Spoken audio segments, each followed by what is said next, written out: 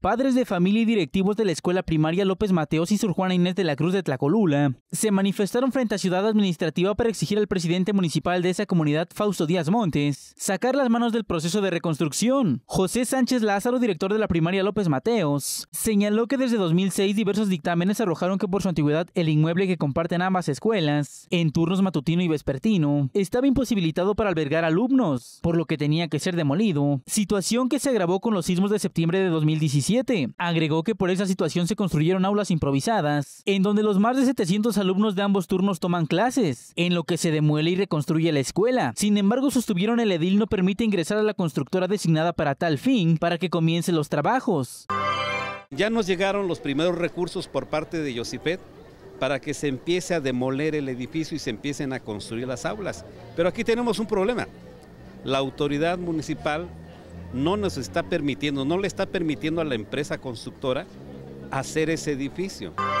Por su parte, el director comisionado de la primaria Sor Juana Inés de la Cruz, Félix Bautista, señaló que la ambición de obtener ese predio del mandatario, al querer ocuparlo para la construcción de un centro comercial, es el motivo por el que no ha permitido comenzar la demolición. Precisó que le Edil ha manifestado expresamente su intención e incluso ha tratado de convencer a los padres de familia y directivos para que cedan ofreciéndoles una alternativa de reubicación del plantel en un predio que afirmaron ni siquiera existe.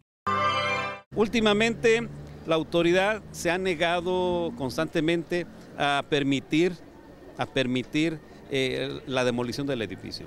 Eh, argumenta de que no hay documentos, de que no se les avisó, etcétera, etcétera. Pero sabemos que la autoridad tiene un fin específico para ese espacio. ¿Qué quiere la autoridad? Reubicarnos en otro terreno, terreno que hasta el momento no tiene. Quiere él construir en ese espacio un parque. Y lo que los padres queremos y lo que los maestros queremos y lo que los directores queremos es de que ahí se construya la nueva escuela, el nuevo edificio. ¿Qué le exigimos a la autoridad? Que nos permita eh, derribar ese edificio, que nos permita la demolición del edificio y que se aboque junto con nosotros a ver, a gestionar los recursos suficientes para la construcción del nuevo edificio escolar. Eso es lo que queremos, pero queremos que nos lo permita.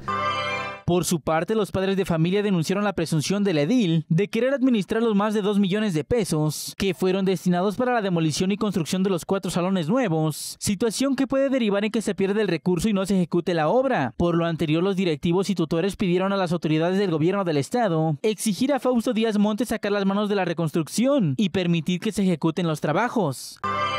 Que nos permita la autoridad que se ejerzan los recursos que ya se tienen para que se haga la demolición inmediata del edificio y se empiece a reconstruir. Es un peligro para los niños, es un peligro para los maestros, para los padres de familia que allí están y es un peligro para todos los transeúntes.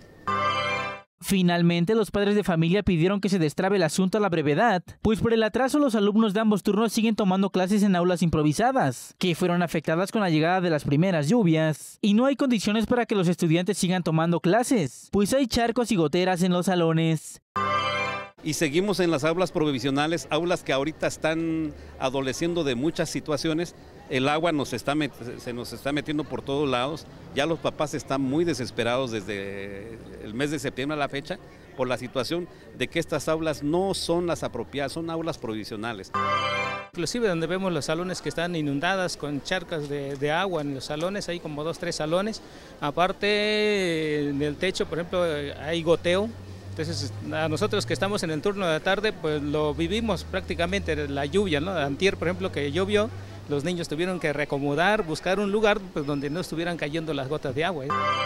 Con imágenes de Pablo Cruz informó para MBM Televisión, Francisco Márquez.